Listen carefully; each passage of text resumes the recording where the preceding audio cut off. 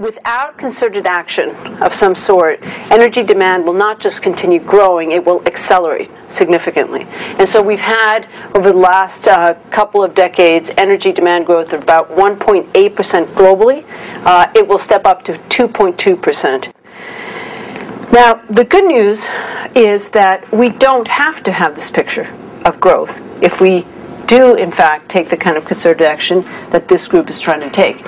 And by our estimates, through these deep microsectoral um, studies I talk about, we find that we could reduce energy demand by a full 135 quad BTU 2020 with investments in currently existing technologies that yield a rate of return of 10% or higher. This is a very important point. We're not talking about things that may be necessary to do down the road to address some of the environmental issues and otherwise, which are incurring costs to the system. These are things that yield positive rates of return of at least 10%, in many cases, uh, much, much higher.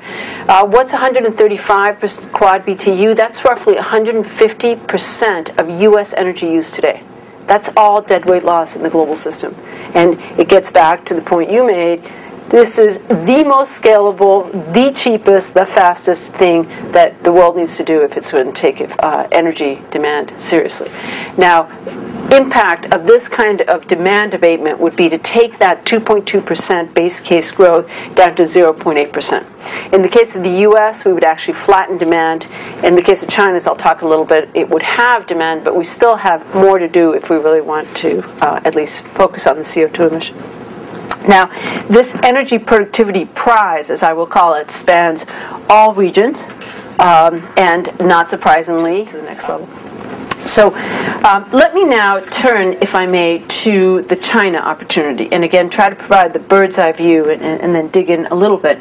Um, the China energy demand story is uh, quite a different one. 4.4% uh, base growth, uh, even after the policies of 20% improvements in energy efficiency, even after the very um, clear uh, attempts by the government to do something meaningful in this regard.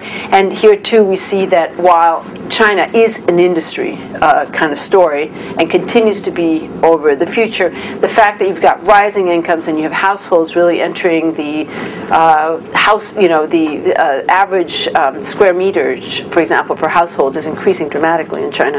Um, transport, you know, we all know about cars and uh, 23% uh, growth rate in sort of car uh, production and, and consumption. Um, so we have a base of 4.4 across all sectors. Uh, I'd flag, of course, the high growth rates in um, some of the uh, industrial uses like steel and otherwise, but increasingly residential, commercial, the story of the consumer. And I'll come back to this when I talk about barriers, but it is this um, consumer decision making, lack of appropriate information, and otherwise that really starts getting in the way, uh, even if after countries start addressing some of the industrial uses. This is uh, the growth picture of, of, energy demand. Of course, the CO2 picture is much worse because we have really uh, CO2 intensive energy use disproportionately in China, i.e., coal. And so we see the um, the CO2 intensity uh, growing even faster than this, uh, which is um, a real issue. Now, just as we said globally, we could see an energy productivity uh, ramp up, if you like. In China, we have um, built into this energy demand is actually a pretty significant energy efficiency and energy productivity, which China is been doing, it's actually growing faster than most of the rest of the world at 2.2%. Um, but um, and, and it's doing so sector by sector, but it's still got a long way to go given how inefficient those markets are. Now, the good news is that, um, like the world, China too could radically change this growth rate purely through these energy productivity improvements. And so we find that that base case of 124 could be reduced, uh, nearly halved the growth rate. Again, I'll point out this is still a lot of growth at 2.8%, but it's a lot less growth than would otherwise be the case. It would be dramatically reduction in oil imports, which is where a lot of the fast growing is. And again, the CO2 impact is, is pretty significant, over 20% reductions uh, purely from these efficiency opportunities.